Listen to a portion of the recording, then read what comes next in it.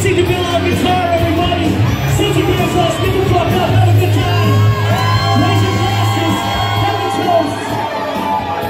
Enjoy yourselves.